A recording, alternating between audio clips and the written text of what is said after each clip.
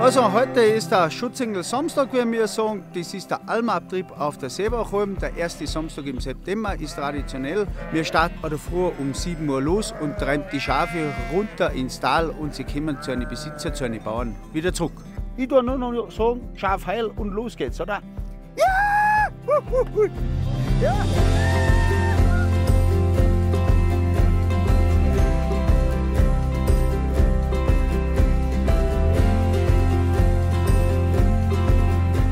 Ja, ich sag halt für uns, was da geht's nicht besser. Erstens hast du Top-Qualität direkt vor der Haustür, das ist einmal natürlich das Wichtigste. Zweitens hast du ein gutes Gewissen, weil du ja. weißt, von wem du das kriegst, wem du das gibst. Ganz schön gewesen, gell, Simeon? Ja. ja. So, da haben wir jetzt unser Schöpsermess. Das sind eben jetzt, wie ihr seht, eigentlich die ganzen Teile vom Lamm. Die schlicht man nur einmal so ganz einfach ein bisschen rein.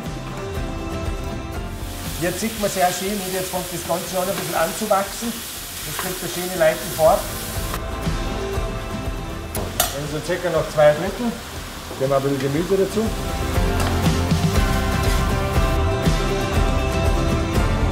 Das ist sicher eher so die ganz traditionelle Bauernkost.